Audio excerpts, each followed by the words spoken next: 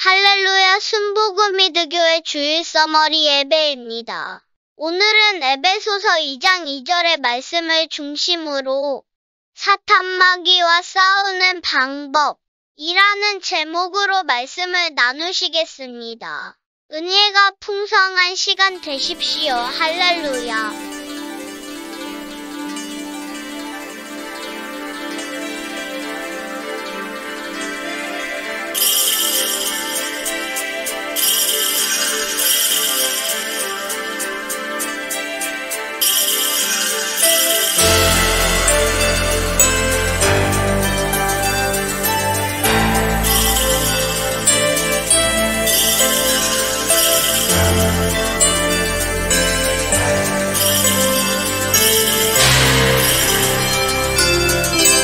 할렐루야 사랑하는 성도 여러분 오늘은 참으로 좋은 날입니다. 오늘 저는 에베소서 2장 2절의 말씀을 중심으로 사탄 마귀와 싸우는 방법이라는 제목으로 하나님의 말씀을 나누고자 합니다. 오늘날 세상 곳곳에서 일어나고 있는 여러가지 문제들의 배후를 추적해보면 그 배후에 마귀가 있는 것을 알 수 있습니다. 에베소서 2장 2절에 그때에 너희는 그 가운데서 행하여 이 세상 풍조를 따르고 공중의 권세 잡은 자를 따랐으니 곧 지금의 불순종의 아들들 가운데서 역사하는 영이라 라고 말씀합니다. 마귀는 우리 눈에는 보이지 않지만 배우 세력으로서 보이는 세계에서 역사하고 있는 것입니다. 그러므로 우리는 마귀의 역사를 분명히 알고 대적해야 하는 것입니다.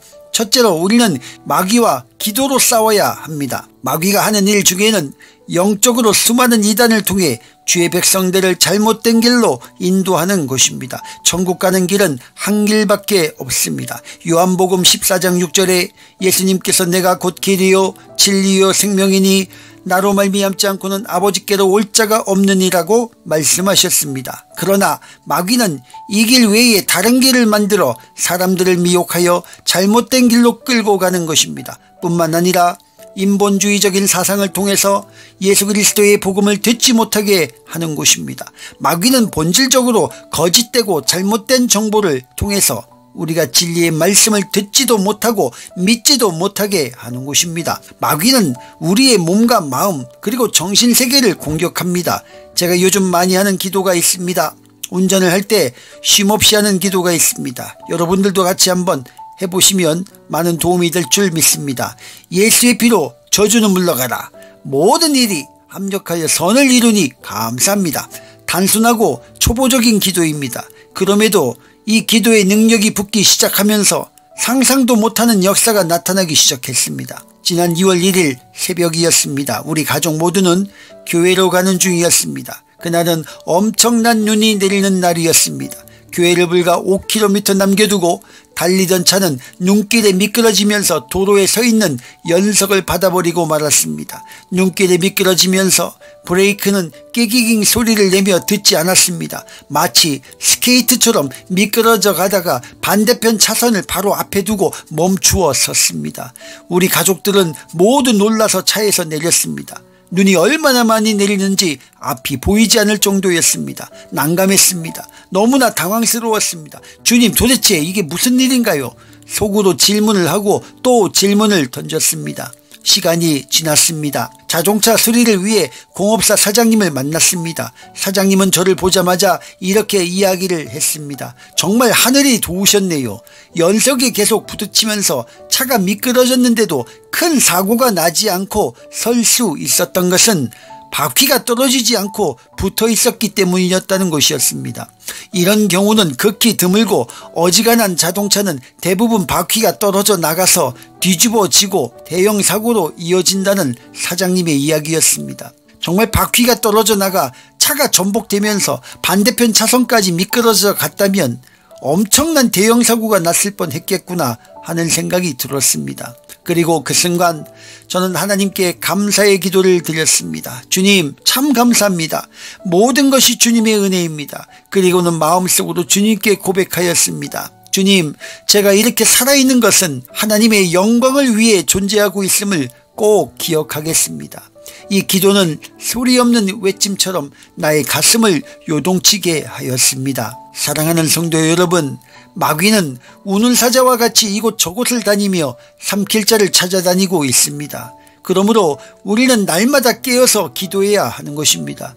우는 사자를 제압하고 다스리시는 예수님과 함께 동행해야 하는 것입니다. 마귀는 예수님 당시나 오늘이나 사람들의 영과 마음과 생활을 억압해서 그 삶을 파괴하려고 하는 것입니다. 그러므로 오늘날 우리가 기도로서 마귀를 대적해야 되는 것입니다. 그런데 마귀와 싸울 때 한두 번 마귀를 대적해서 마귀가 도망가지 않는다고 낙심해서는 안 되는 것입니다. 우리는 이미 이길 싸움을 하는 것입니다. 예수님이 십자가에서 마귀를 패배시켰기 때문입니다. 예수님 안에 있는 우리는 이길 싸움을 싸우게 되는 것입니다. 하지만 이미 이길 싸움이라고 해도 끝까지 기도해서 최후 결론에 도달해야만 하는 것입니다. 둘째로 4차원의 영성으로 싸워야 합니다. 마귀를 대적해서 이기려면 4차원의 영성으로 무장해야 합니다. 4차원의 영성의 첫째는 생각입니다. 여러분의 생각은 늘 승리로 충만해야 되는 것입니다. 하나님의 응답을 체험하려면 여러분이 기도하고 구하는 것이 여러분의 생각과 일치해야 합니다. 왜냐하면 여러분이 구하는 것은 하나님께 아뢰는 것이고 여러분의 생각은 하나님의 응답을 받는 그릇이기 때문인 것입니다. 여러분이 하나님께 아무리 구해도 그릇이 준비되어 있지 않으면 받을 수가 없습니다. 그러므로 그릇을 준비해야 하는데 여러분의 생각이 응답을 받는 그릇입니다. 그러므로 구하는 것과 생각하는 것이 일치하도록 해야 되는 것입니다. 여러분이 하나님의 역사를 원한다면 하나님 은 승리자이심으로 여러분은 항상 승리를 생각해야 되고 하나님은 부여하신 분이기 때문에 여러분은 늘 부여를 생각해야 되고 하나님은 생명이심으로 여러분은 끊임없이 건강을 생각해야 되고 하나님은 실패하신 적이 없기 때문에 여러분은 늘 성공을 생각해야 되는 것입니다. 그럴 때 하나님이 함께 하셔서 사용하여 능력이 나타나는 것입니다. 그 다음 꿈을 꾸고 없는 것을 있는 것으로 바라보아야 합니다. 여러분 하나님은 꿈을 가지고 나아오는 사람에게 역사하시는 것입니다. 아무리 환경이 절망적이어도 우리가 기도하면 성령께서 환경을 초월한 꿈을 주시고 우리 마음속에 심어주시는 것입니다. 그 꿈은 영혼이 잘 되는 꿈이 될 수도 있고 범사가 잘 되는 꿈이 될 수도 있으며 몸이 건강한 꿈이 될 수도 있습니다. 또 남을 살리고 세계를 복음화하는 꿈이 될 수도 있는 것입니다. 우리가 기도하면 성령께서 꿈을 주시고 그 꿈을 품고 기도할 때 성령께서 역사하여 이루어 주시는 것입니다. 또 우리는 믿음을 가져야 합니다. 현재 눈에 앞에 있는 것을 보고 그것을 시인하는 것은 감각이지 믿음이 아닙니다. 믿음은 눈에 아무 증거 안 보이고 귀에 아무 소리 안 들리고 손에 잡히는 것이 없어도 하나님이 내 꿈을 이루어 줄 것이라고 믿는 것이 믿음인 것입니다. 성령님은 그러한 믿음을 통해서 역사하시는 것입니다. 나는 못한다, 안 된다, 할 수 없다. 그런 부정적인 말을 하는 사람이 변화되어서 주님 내가 믿습니다. 성령님 역사하여 주시옵소서. 이렇게 믿음을 가지고 기도하면 성령님이 역사하셔서 여러분의 삶의 기적이 일어나는 것입니다. 그 다음 입술의 창조적 선언이 중요합니다. 여러분 하늘나라에는 우리가 원하는 것은 큰 소리로 외치는 것이 반드시 필요합니다. 내가 입술로 말을 크게 하면 입술의 고백을 통해 성령님이 운행하셔서 이루어지게 하시는 것입니다. 특별히 우리는 예수님의 십자가와 부활, 성천과 일체됨을 입술로 시인해야 합니다. 이제는 예수 죽음, 내 죽음, 예수 부활 내 부활이 되는 것입니다. 이러므로 이제 우리들은 예수 그리스도 안에서 이미 승리한 사람이 되었다는 것을 알아야 됩니다. 그럴 때마다 마귀를 대적해서 싸워 이길 수가 있는 것입니다. 예수 그리스도의 십자가는 인류 역사상 최대의 전쟁터였습니다. 예수님의 부활은 영원한 승리를 우리들에게 갖다 주신 것입니다. 그러므로 이러한 사실을 분명히 알고 믿음의 승리자가 되시기를 예수님의 이름으로 축복합니다. 셋째로 성령님과 함께 싸워야 합니다. 우리는 눈에 보이는 사람과 싸우는 것이 아니라 공중에 진치고 있는 악의 영들과 싸우는 것입니다. 그러므로 영적인 싸움을 할 때는 우리 힘이 아니라 성령님과 함께 싸워야 되는 것입니다. 3차원의 존재 속에는 다스리는 자가 있습니다. 3차원이 다스리면 3차원의 일들이 일어나고 4차원이 다스리면 하나님의 일이 나타나는 곳입니다. 우리가 사는 물질 세계는 3차원에 속합니다. 그런데 이 3차원의 물질 세계를 지배하는 것은 4차원에 속한 영의 세계인 것입니다. 4차원의 세계는 어떤 세계입니까? 창세기 1장 2절에 그 답이 있습니다. 땅이 혼돈하고 공허하며 흑암이 깊음 위에 있고 하나님의 영은 수면 위에 운행하시니라 라고 기록하고 있습니다. 3차원의 물질세계 위에 성령이 운행하시는데 성령은 보이지도 아니하시고 붙잡을 수도 없는 존재입니다. 그러므로 4차원은 성령이신데 성령께서 운행하시면서 혼돈과 공허와 흑암으로 꽉 들어찼던 세상이 하나님 보시기에 좋은 세상으로 변화된 것입니다. 그러므로 4차원의 지도자는 성령 하나님이신 것입니다.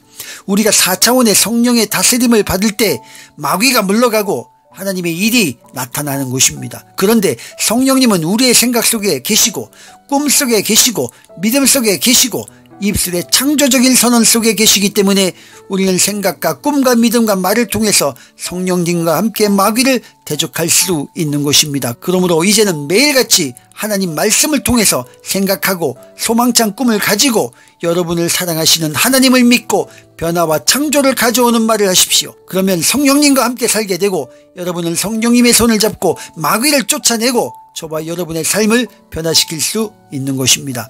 요한복음 4장 4절에 자녀들아 너희는 하나님께 속하였고 또 그들을 이기었나니 이는 너희 안에 계시니가 세상에 있는 자보다 크심이라 라고 기록하고 있습니다. 그러므로 성령님과 함께 싸우면 언제든지 마귀를 넉넉히 이길 수가 있는 것입니다. 사랑하는 성도 여러분 악한 마귀와 싸워서 우리는 이미 승리했습니다. 그러므로 날마다 공격해오는 마귀와의 싸움은 기도로 승리해야 할 줄 믿습니다. 4차원의 영성으로 승리하는 것임을 믿어야 합니다. 그리고 이 모든 것을 성령님과 함께하며 승리하시기를 예수님의 이름으로 축복합니다. 사랑해 주님 감사합니다. 세상과 싸워 승리할 수 있도록 인도하시는 하나님 참 감사합니다. 오늘 우리에게 믿음으로 기도하게 하시고 성령으로 인쳐주셔서 승리하게 하시니 감사합니다. 마지막 날까지 주님의 영광을 위해 승리하는 주의 백성들을 지켜주옵소서 예수님의 거룩하신 이름으로 기도드립니다. 아멘